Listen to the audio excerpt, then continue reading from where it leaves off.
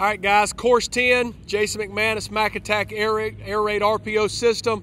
Want to talk to you about the, the man beaters, utilizing mesh, pick routes, man beaters in the red zone, okay? This whole course, number 10, is designed to give you a system or a plan of action in the red zone in the goal line.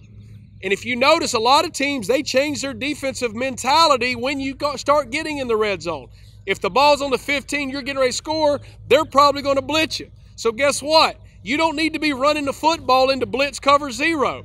In this system, I teach you how we run mesh. I teach you the snag combination. I teach you all the pick routes. And again, you have answers, guys. If they're blitzing you, our philosophy in this system is I want to throw the ball versus blitz. I don't want to run into blitz and beat my head on the wall when I know we can take advantage of man coverage. So you've already learned the protections in earlier courses. I show you how to pick up these blitzes.